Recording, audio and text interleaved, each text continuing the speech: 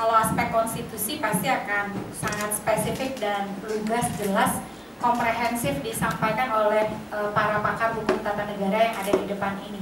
Saya ingin melihat dari dimensi mungkin yang agak spesifik e, berkaitan dengan demokrasi dan e, kondisi demokrasi kita saat ini. E, saya menjadi bagian dari yang namanya Global State of Democracy Index atau indeks uh, apa kondisi global demokrasi. Uh, global State of Democracy Index yang dikeluarkan oleh International IDEA, International Institute for Democracy and Electoral Assistance, itu disusun dari tahun uh, 75 sampai tahun 2015. Nah, kondisi uh, demokrasi Indonesia dalam konteks global itu bisa dikatakan memimpin baik di kawasan regional maupun global.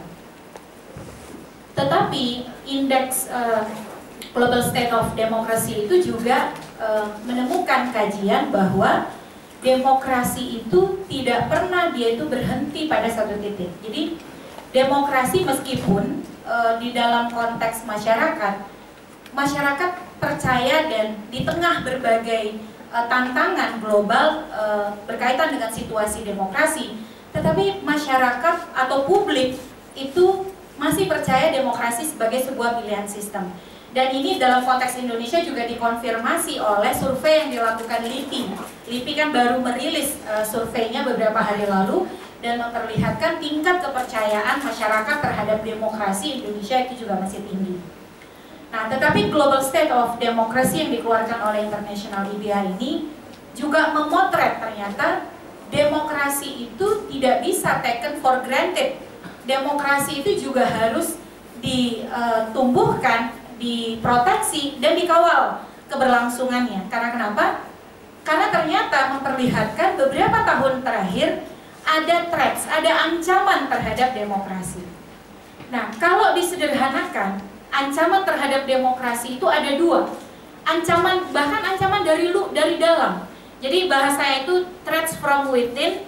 Jadi ancaman dari dalam terhadap ketahanan e, demokrasi yang menginginkan kemunduran demokrasi. Kalau bahasa dia itu ancaman terhadap demokrasi e, ketahanan demokrasi dari dalam dari dalam negara itu ya itu dibagi dua. Ada yang ancaman tradisional ada yang ancaman modern ancaman tradisionalnya itu adalah kalau dulu banget ya ancaman e, apa demokrasi tradisional itu satu e, manipulasi e, pemungutan penghitungan suara pada hari H. Itu yang dianggap tradisional jadi kecurangan pemilu hari H. Atau yang kedua kudeta. Nah kalau Indonesia ini alhamdulillah yang namanya kudeta kita tidak seperti Thailand ataupun tidak seperti e, Myanmar negara-negara di kawasan. Jadi itu adalah ancaman demokrasi e, tradisional jadi kecurangan pemilu pada hari H dan yang kedua uh, kudeta.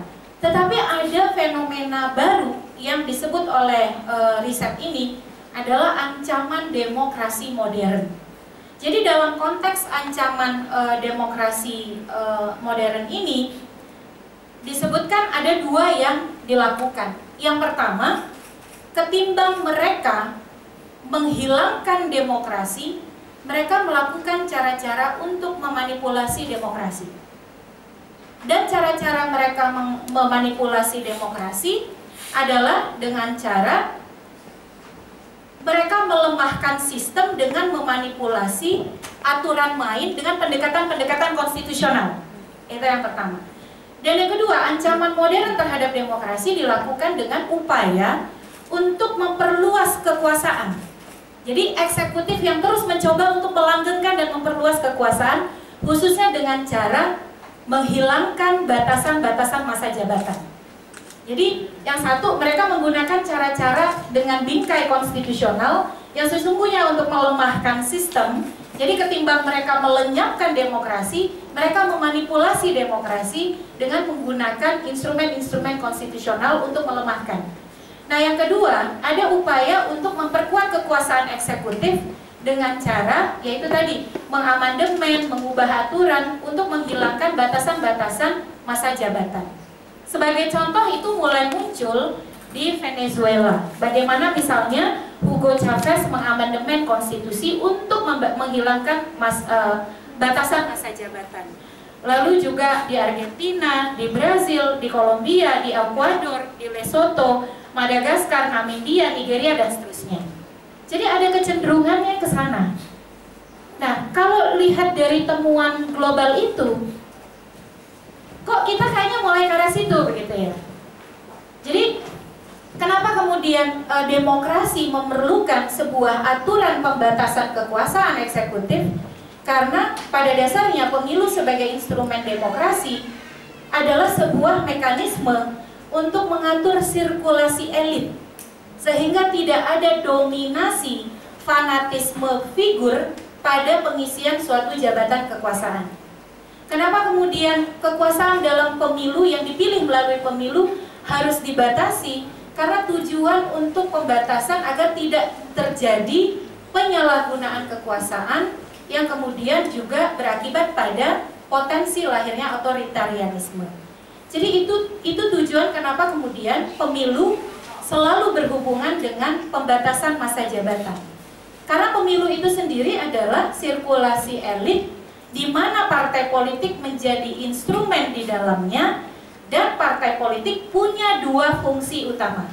Yang pertama adalah kaderisasi dan yang kedua adalah rekrutmen politik. Jadi kalau kaderisasi dipertemukan dengan fungsi rekrutmen politik, sirkulasi elit menjadi sebuah keniscayaan. Jadi itu pengantar dulu.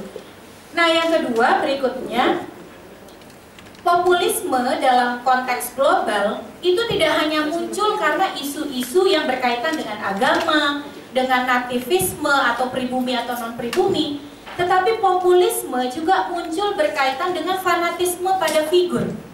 Jadi bagaimana kekuasaan kemudian dicoba dilanggengkan karena merujuk pada fanatisme figur. Dan itu tidak sejalan dengan konsepsi pemilu dan demokrasi kita di mana di dalam pemilu dan demokrasi ada kaderisasi dan rekrutmen politik berbasis regenerasi politik. Nah yang bahaya adalah apakah kita mau membiarkan demokrasi kita ini masuk pada kanal populisme berbasis figur. Jadi fanatisme figur itu apakah mau kita langgengkan begitu dengan kemudian kita merekonstruksi pembatasan masa jabatan yang sesungguhnya bagian dari upaya kita menguatkan demokrasi Indonesia. Jadi saya ingin mengakhiri upaya untuk menghilangkan pembatasan masa jabatan melalui uji materi ini. Sekali lagi ini bukan konteksnya orang per orang ya, tetapi ini konteksnya sistem. Adalah upaya yang bisa melemahkan konsolidasi dan e, apa progresivitas demokrasi kita yang sesungguhnya sudah memimpin di kawasan dan global. Dan ini kemudian menjadi pintu masuk untuk pelemahan institusi partai politik sebagai instrumen kaderisasi dan rekrutmen politik yang demokratis. Karena sekali lagi, dalam demokrasi dan pemilu yang demokratis, salah satu yang dihindari adalah fanatisme berbasis individu. Itulah kenapa kaderisasi dan rekrutmen politik menjadi ciri di dalam dilakukannya sirkulasi elit. Jadi saya kira itu Mbak Bibip dan tentu kita tidak mau kan demokrasi kita dengan segala capaian amanat reformasi yang sudah kita peroleh demokrasi kita mundur. Jadi uji materi ini pertama tentu harus ditolak karena kita bicara soal pembangunan sistem dan penguatan demokrasi dan yang kedua kalau ini dibiarkan ini menjadi ancaman terhadap penurunan kualitas dan konsolidasi demokrasi yang sedang kita jalani.